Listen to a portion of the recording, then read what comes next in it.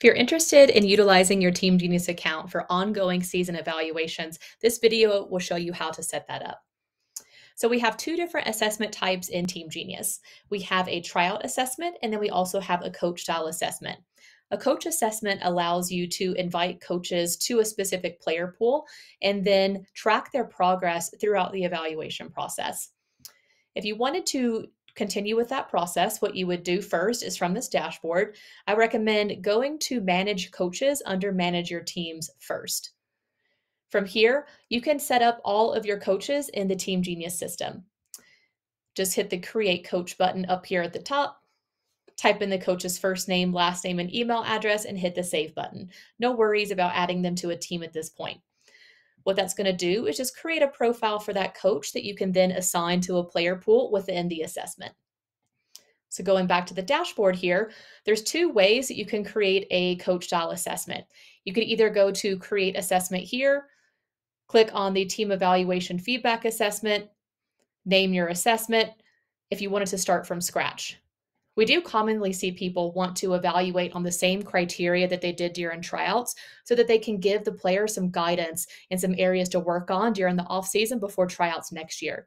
If you wanted to do that, what I would recommend is from Manage Your Assessments, click on Manage Assessments.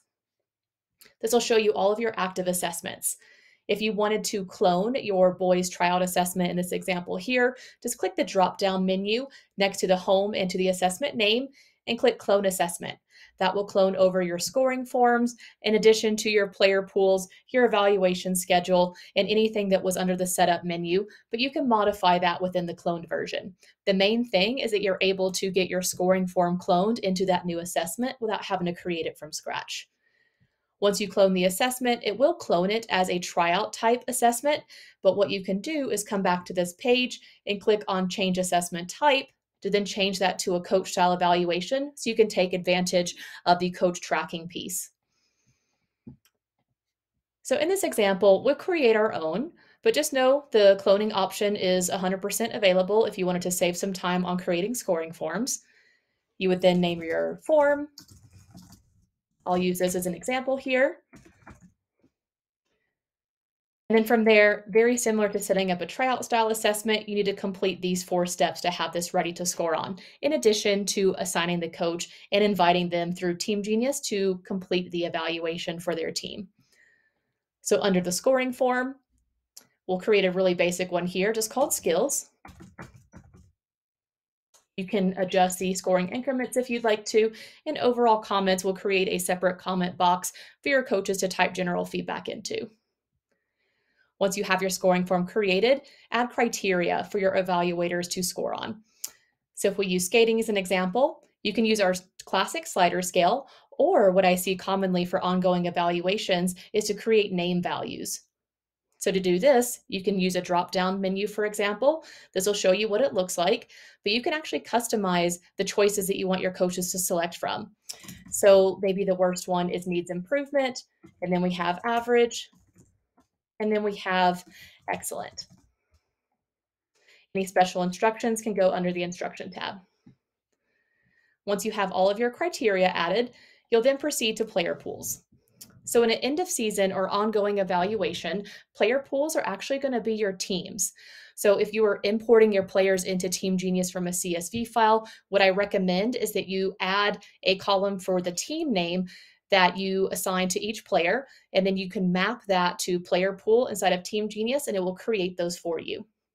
So really quickly, just jumping a step here, we'll go to add players, add those from a CSV file. If you did happen to set up all of your teams inside of Team Genius already and you assigned players to those teams uh, after the tryout process, you also have the option to add players from Team Genius teams, which we'll look at here real quick. Um, this is going to show you again all of the teams that you have in your Team Genius account and the rosters. You can select all, hit add players, and that will do the exact same thing. It will add all of the players to the team and have that team created as a player pool.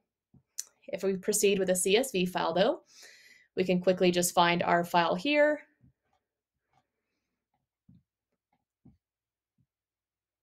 And then from there, hit the continue button you'll need to map the first name, the last name, The birth date is recommended and also email address. Player numbers are not required in in season evaluations. But instead of mapping the age group to player pool, you would map the team name to player pool. If you are happy with that, you would then hit use these mappings.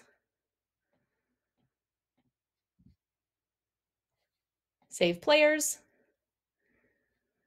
And then that import job is starting. Uh, under player assignments, we should see all of the players assigned to their team. If we go back to player pools under setup, we will see those two teams created here. To assign a coach to this team, you would hit the edit button. And then you'll see a drop down here to select your coach. So if this was the coach name, as you can see, you can add multiple coaches as well. You would hit the save button and then proceed with adding coaches to the next team. The last thing you need to do is just create an evaluation schedule session. If this is just going to be for end of season evaluations, that could be the name of your session. If you wanted to have mid season and beginning of season, each of those would be sessions within the evaluation schedule. Select the scoring forms to use and also the pools that will be evaluated. Now to send these invites out to coaches, you would go to the evaluation tab, click on assign coaches, and here you'll see a list of all of your coaches assigned to the player pool, which is the team in this scenario. Check the box for each coach for the session that you've created and hit send all invitations. If you had multiple sessions, such as a mid-season and an end of season, just select the uh, session that you want them to score on at this time. Once you hit send all invitations, that will send each of these coaches an individual email with a link to click on instead of having to use an access key to score for their team. That looks very similar to what we see here in this option, uh, this email that I received here. So I can see I have an end of season player assignment. I can see the pool name. And if I click on start evaluating, it'll take me directly into the evaluation side of the software. So I can start completing that as a coach.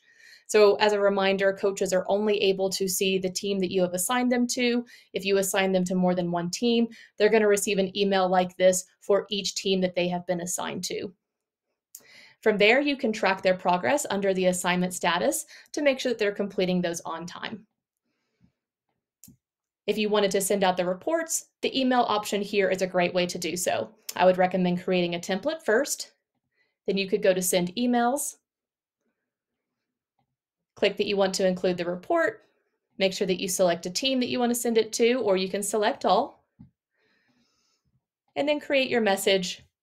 You can drop in your template if you'd like to, player feedback, for example. Make sure that you include this link called athlete report link under placeholders right here.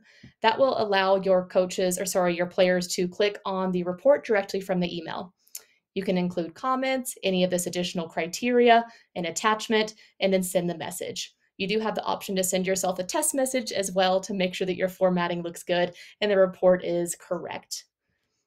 So that is a very quick overview of how to set up an in-season evaluation. If you have additional questions, please hit the help button down here at the bottom right of your Team Genius account or email us at help at teamgenius.com. Thank you.